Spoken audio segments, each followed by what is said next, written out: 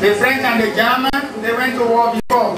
The Americans and the English, they went to war before. And they killed a lot of each other on each side. But today, they all take collective decisions. Whatever they decide is what the rest of the world follows. I think that's enough to be a lesson for us all. After has mentioned the importance of diversity, that He is the one who did that, He says so that we can understand each other. So therefore, if someone else is of a different tribe or of a different nation, you have to meet that person what's, who are you, what's your name, where are you from?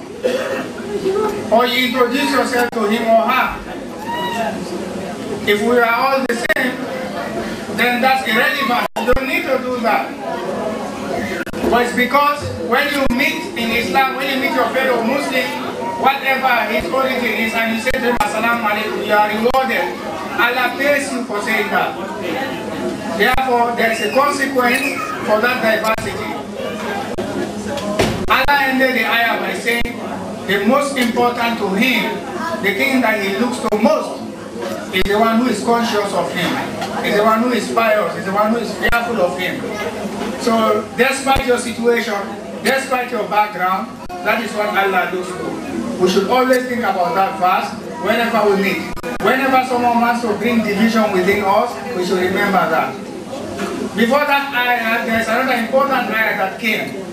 That ayah is talking about backbiting.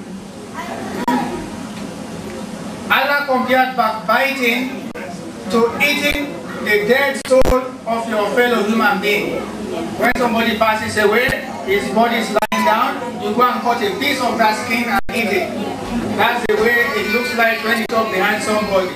So if we are not united, that's what I'll be doing. This guy is not Fula. I'll just be talking about him and his tribe behind him. So it's like me eating his flesh when he's dead.